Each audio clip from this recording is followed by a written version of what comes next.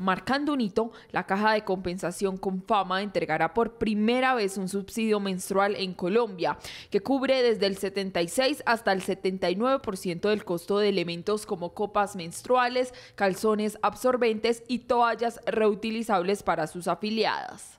Un subsidio que busca poner sobre la mesa la conversación de la dignidad, la salud y la conciencia de nuestro ciclo menstrual.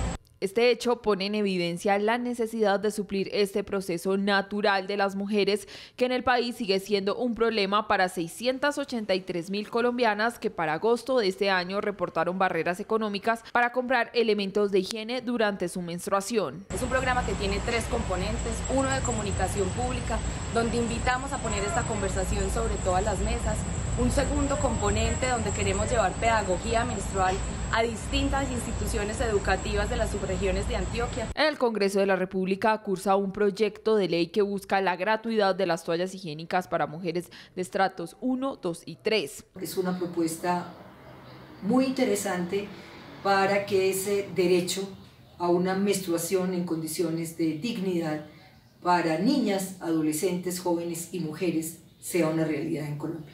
Hasta mayo de 2021, cerca de 82 mil mujeres usaron papel periódico, ropa vieja o trapos para protegerse durante su periodo menstrual.